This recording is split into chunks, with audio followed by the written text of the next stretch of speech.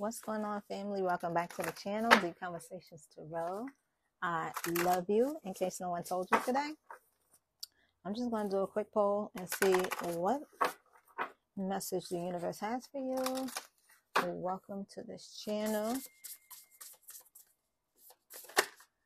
Ooh, lost in space. Somebody could be needing direction. What message, Spirit, do you have for your collective? What message do you have for your collective spirit in me? One quick card. One message for them to get them through the day, spirit.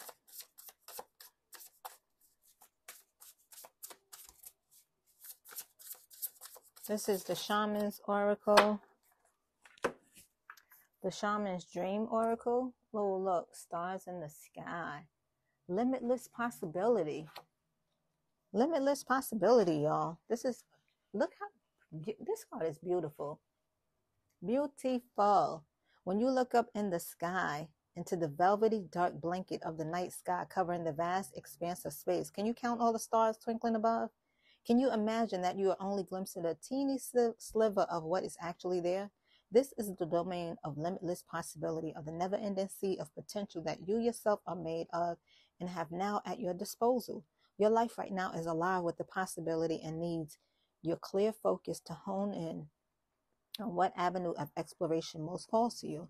It's time to choose and not be distracted by the sheer magnitude of what may be. Be here now. Gather your thoughts and your most cherished dreams.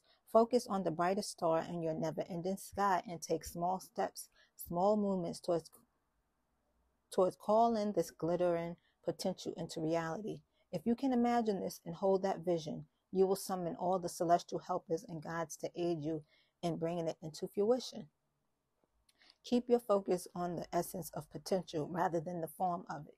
The universe has its own ideas of how best to serve you and all of us at the same time. Trust this as fact rather than theory, and you ought not act surprised. That's confirmation. You ought not act surprised when your dreams come true, for they surely will exactly how you need them to. And look, the next card after that was this netcaster. Preparations come to fruit. Then preparations come. I can't even speak, y'all. Preparations come to fruition. Because look, whatever it is that you're dreaming of, look, whatever it is that you're dreaming of, that you're going after, what you desire, what you're manifesting, you celestial being, you look at you. You're asking this of the divine. It's coming to fruition. Okay? It's coming to fruition. The universe got this. Okay? From darkness to light. You can see this many ways. Whatever it is that you're manifesting is on its way. It's coming to fruition. Your possibilities are limitless. The universe got your back. They caught your wishes. They caught your dreams. They caught your manifestations, and it's being sent to you. Light workers, light beings, all and you have all your spirit team on your side.